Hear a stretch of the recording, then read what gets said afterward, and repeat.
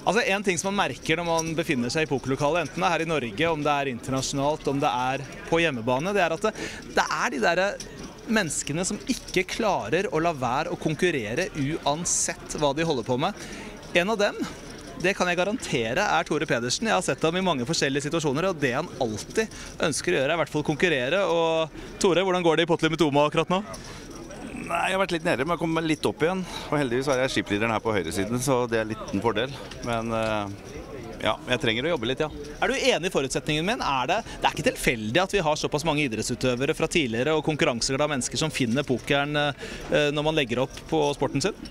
Nei, det er nok ikke tilfeldig. Det er veldig mange som eh, For det første er poker et veldig artig spill, men det er også et, når man er ferdig som idrettsutøver, så som min gode venn Per Haugsrud, som var veldig god i golf, han eh, gidder ikke å spille golf. Jeg gidder ikke å spille fotball, for det er ikke noe moro å være ræva i en idrett man har vært OK i. Skal ikke påstå at jeg har vært god, men jeg var i hvert fall OK. Og da er det kult å finne en annen idrett der man kan konkurrere med de faktisk de beste i verden. Det er ikke så lett å gjøre i mange andre mange idretter. Og man får jo også det der adrenalinutløpet som man kanskje trenger når man har drevet idrett på høyt nivå. Jeg skal love deg det at pulsen slår hvis man er inne i en eh, avgjørende pott eh, som det er mye på spill. Det, da kjenner man at man lever. Det skal jeg love deg.